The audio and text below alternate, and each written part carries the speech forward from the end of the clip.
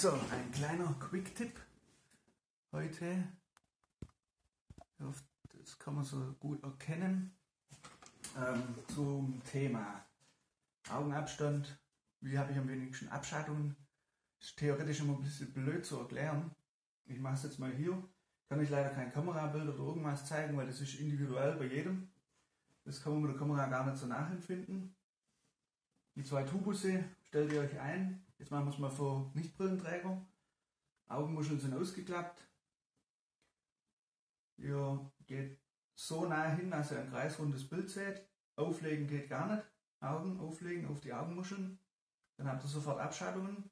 Und ihr stellt euch dann den Augenabstand so weit ein, bis ihr das kreisrunde Bild habt. Dann habt ihr einen kleinen Spielbereich. Mit denen könnt ihr noch, da könnt ihr noch mit den Okularen hin und her gehen, mit Hosen. Und da müsst ihr dann gucken, wo habe ich da am meisten Spielraum, wo habe ich am wenigsten Abschaltungen, immer mal wieder den Kopf bewegen. Und echt, müsst ihr weiter experimentieren, bis ihr da der beste Bereich findet. Bis ihr da wirklich nur im Kopf hin und her könnt und dann relativ wenige Abschaltungen habt. So, Jetzt könnt ihr natürlich das Ganze so, so frei anlegen. Ihr, habt, ihr schwebt quasi so mit den Augen über den Okularen oder ihr könnt versuchen, eure Nase, die Nasenflächen an die Augenmuscheln an,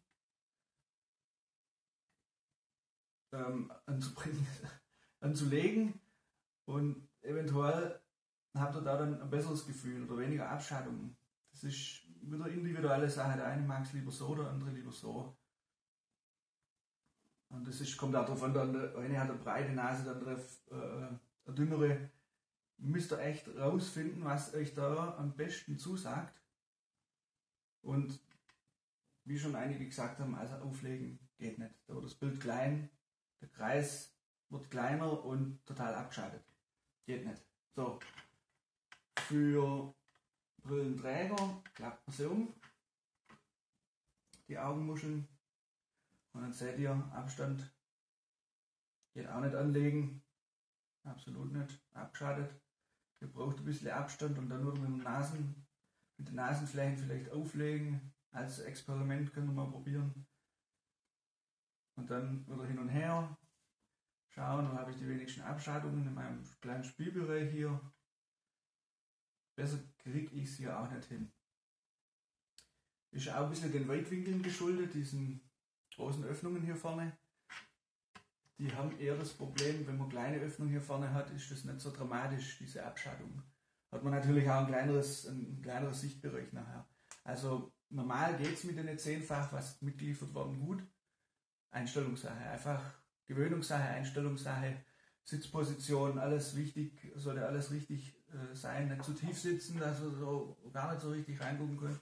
Zu hoch ist auch nichts tut dann nur im Nacken irgendwann weh, also angenehme Sitzposition und dann echt experimentieren.